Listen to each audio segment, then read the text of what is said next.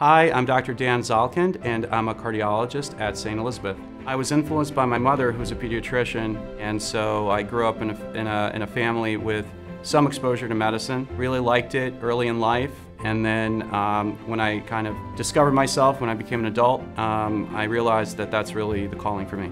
I was educated uh, in Washington, D.C. at uh, GW University for undergrad and for my medical school training. I, I, did my residency over at Georgetown Hospital, also located in uh, Washington, D.C. And then I made my way across the country to the University of Colorado, where I did my cardiology fellowship. And then I made my way back to the East Coast. I did a special fellowship in uh, cardiac imaging at Yale University. So I'm a general uh, cardiologist, mostly non-invasive. And what I do is I do prevention cardiology, and I do a lot of uh, diagnosing and medical treatment of cardiac issues.